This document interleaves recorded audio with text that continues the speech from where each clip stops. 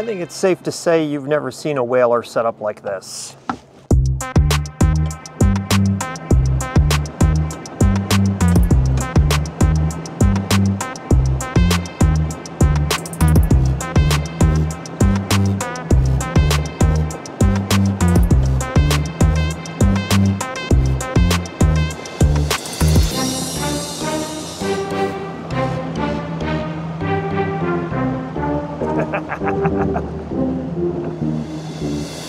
This is my old 17 foot whaler. You know, the waterlogged, squishy floor wreck of a boat.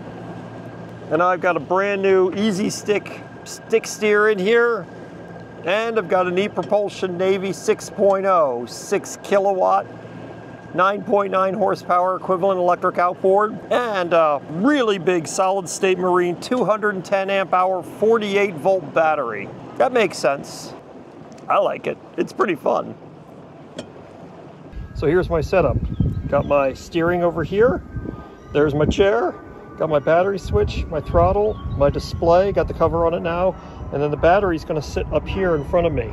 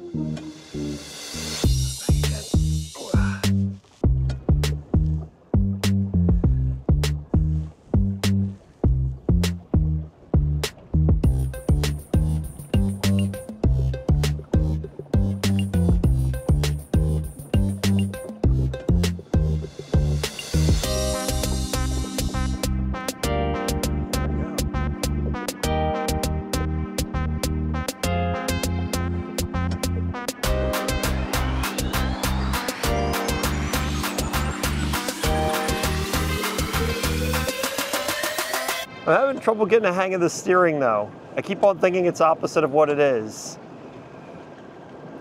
Forward turns me to port, backward turns me to starboard. In my mind, I feel like it should be the other way around.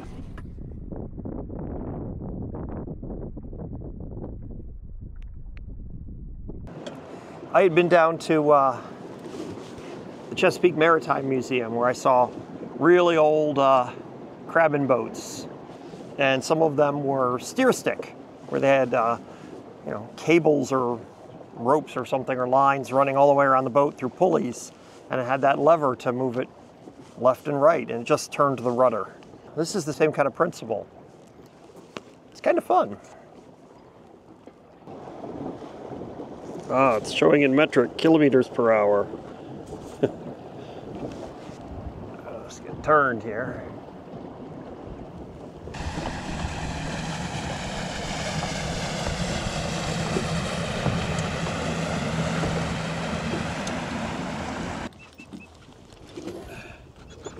Okay, so I changed my unit of measure here to miles per hour. I'm also going to bring up my speedometer app so that way we can compare the two. See how accurate that is. It'd be nice if that was accurate. Oh, it's windy out here today. Okay, let's go forward.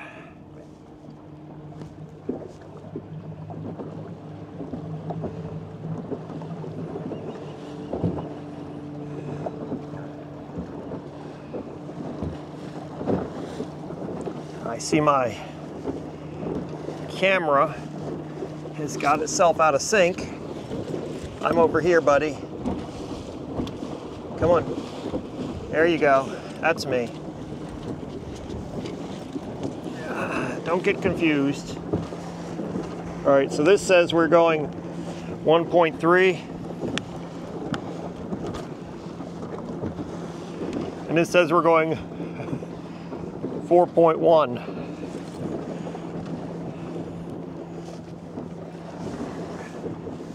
I'm going to turn into uh, use the wind here.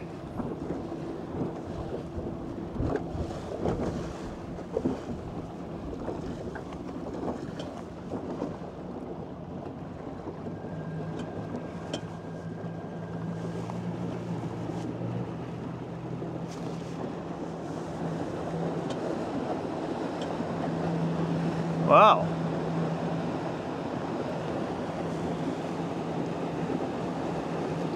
That says we're going seven miles an hour.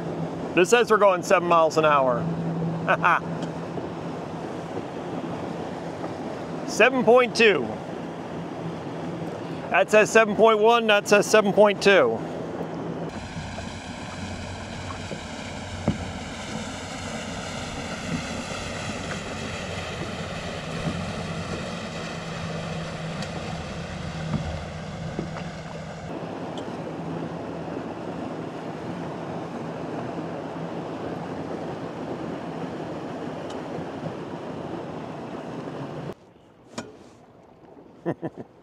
Turned the wrong way again.